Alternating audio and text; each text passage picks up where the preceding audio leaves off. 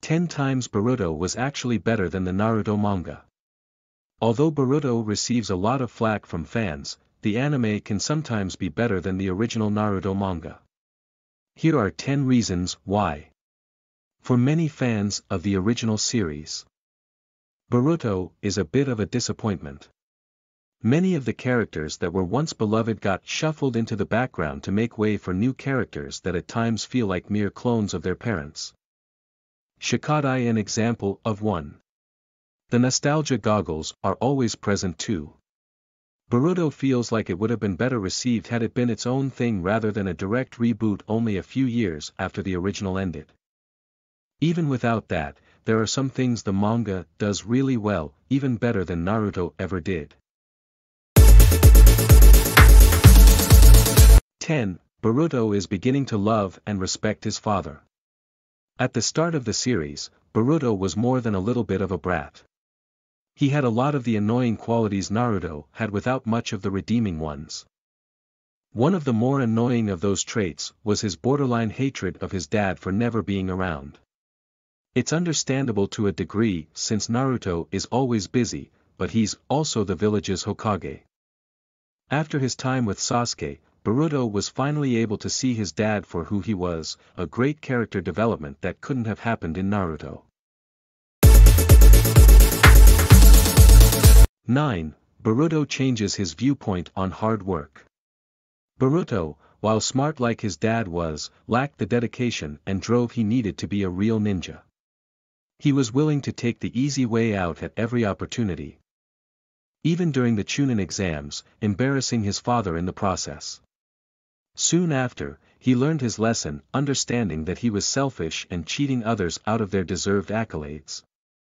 It was the first big development he had as a character, a growth that Naruto never had to go through. 8. Boruto fleshes out the world more than Naruto. Naruto did a great job of laying the groundwork for its world, introducing the five villages and much of its past lore. However, it suffered from being very Konoha-centric, rarely ever showing glimpses of the rest of the world.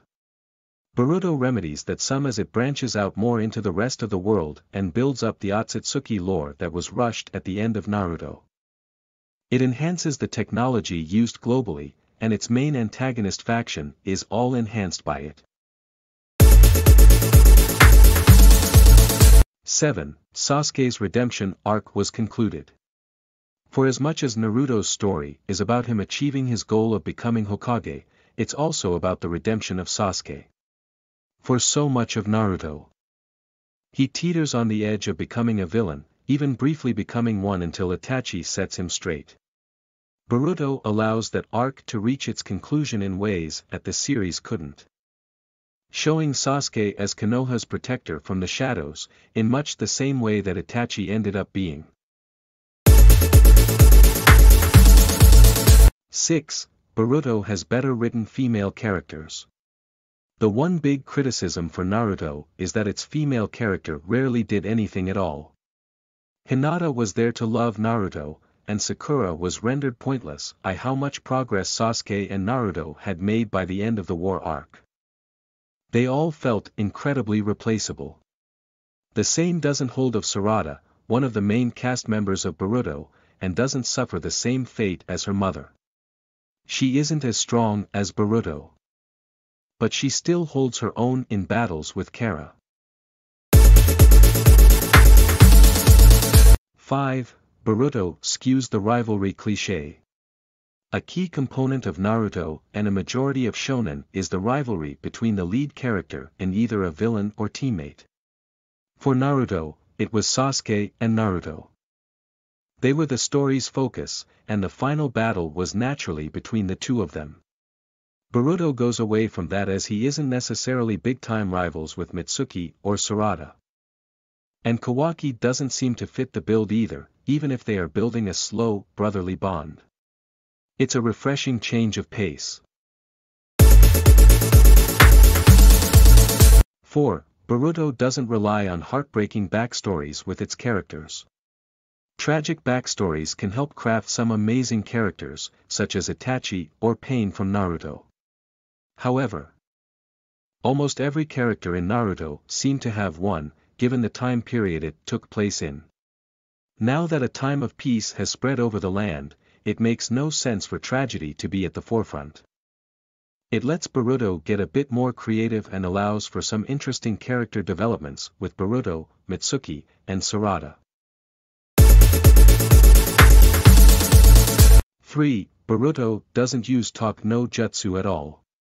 The members of Kara never flipped sides so readily, realizing the error of their ways beneath Boruto's words. With how prevalent it was in Naruto. That's a good thing. Every other villain seemed to quake beneath Naruto's words. It makes the manga feel different and works well for Boruto as a character. He isn't the same as Naruto.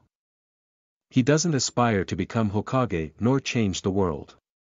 He's not the type to get in an ideological debate. 2. Boruto has a faster pace. More feels like it happens in the first 10 chapters of Boruto than it did in about 30 of Naruto. Momoshiki is introduced almost from the jump. Helps speed things along, and shows the manga isn't going to move at a plodding pace. This can at times be a double-edged sword as there is such a thing as too fast a pace, but when you have manga like One Piece that feel like they will never end. It's refreshing to see one move faster. 1. Boruto has more realistic art. Mikio Ikemoto makes his illustrations far more realistic looking, particularly with their eyes and mouths. Kishimoto has even had to go on record of telling him he needs to make them bigger so it better aligns with the original series. While that's true, the sense of realism he has gives the manga a unique look. It isn't just with the characters either. The backdrops look nicer and feel more filled with life than many of the ones shown in Naruto.